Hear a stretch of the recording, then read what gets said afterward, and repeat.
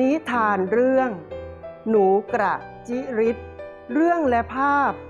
ลำพูแสงลบ ในป่าใหญ่แห่งหนึ่ง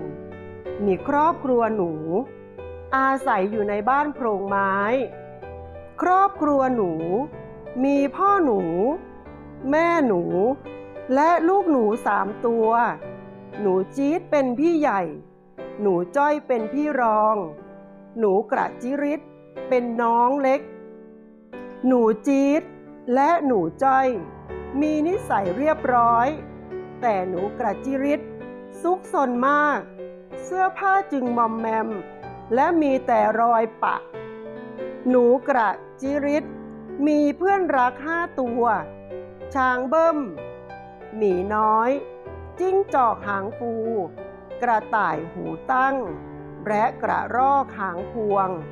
หนูกระจิริศชอบไปเล่นกับเพื่อนๆทุกวัน บ่ายวันนี้ อากาศแจ่มใส หนูกระจิริศเตรียมออกไปวิ่งเล่น แต่แม่หนูร้องเรียก ลูกจ๋า มีจดหมายมาถึงลูกจ้ะ เอ๊จดหมายจากใครนะ หนูกระจิริศตื่นเต้นดีใจ รีบอ่านจดหมายทันที เมื่ออ่านจดหมายจบ หนูกระจิริศรีบวิ่งปรูดปราดออกไป ประเดี๋ยวเดียว ก็ถึงที่นัดพบ เอ๊ะ ไม่เห็นมีใครเลยนี่ หรือว่าเรามาผิดทางนะจ้าเอ๋เพื่อนๆตะโกนลั่น แล้วโผล่จากที่ซ่อนพร้อมกันทำให้หนูกระจิริศตกใจจนเกือบหงายหลัง สุขสันต์วันเกิดจ้า เพื่อนๆร้องอวยพร พร้อมหนูจี๊ดและหนูจ้อย ที่โผล่มาจากกระเป๋าของช้างเบิ้ม ใช่แล้ว วันนี้เป็นวันเกิดของหนูกระจิริศนี่นา ลืมไปได้ยังไงนะ หนูกระจิริศ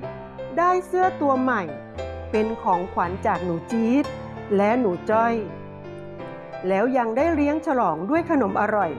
ที่เพื่อนๆช่วยกันทำมาให้ด้วยอืมมีความสุขจังเลย เด็กๆ เล่นสนุกสนานกัน จนถึงเวลาเย็น จึงชวนกันกลับบ้าน คราวนี้หนูกระจิริศไม่วิ่งปรูดปราดเหมือนเคย